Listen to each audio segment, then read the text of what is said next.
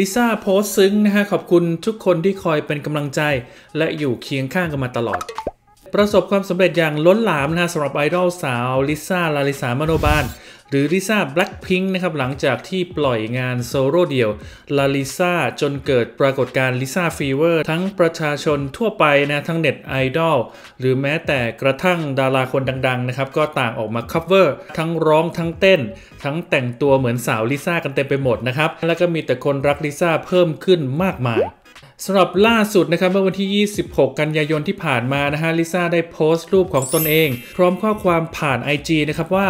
ขอบคุณที่รักหนูนะ ไม่ว่าหนูอยากจะทำอะไรทุกคนพร้อมที่จะคอยเป็นกำลังใจให้เสมอ อยากบอกทุกคนว่ารักและคิดถึงมากๆนะคะสำหรับใครที่ไม่ได้เจอหนูอย่าเสียใจนะคะ หนูรู้ว่าทุกคนคอยส่งกำลังใจมาให้หนูตลอด ขอบคุณที่คอยอยู่ข้างๆกันมาตลอดนะคะ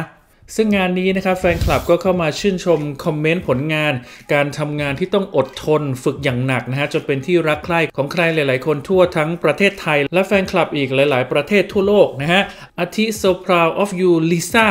I'm your fans I love you Lalisa was so fun we will remember it forever นะครับก็แปลประมาณว่าเราชอบลาลิซ่ามาก ๆ นะฮะเราจะไม่ลืมโมเมนต์นี้ตลอดไปนะครับหรืออีกสักหนึ่งข้อความนะครับ thank you Lisa for all your work hard นะครับ ก็แปลว่าขอบคุณลิซ่ามาก ๆ นะฮะสำหรับการทำงานหนักเป็นต้นนะครับ ก็เพื่อนๆ สามารถเข้าไปอ่าน แล้วก็เข้าไปโพสต์ให้กำลังใจน้องใน IG ลาลาลาลิซ่า underscore m ทางทีมข่าวพีนิวก็ยินดีกับความสำเร็จของน้องในครั้งนี้ด้วยนะครับ ขอขอบคุณข้อมูลดีๆ จากข่าวสดนะฮะ ขอขอบคุณเพื่อนๆ ที่ติดตามและฝากกดไลค์ กดแชร์ กด subscribe เพื่อเป็นกำลังใจกันด้วยนะครับเราเจอกันใหม่ในคลิปหน้าสำหรับวันนี้ สวัสดีครับ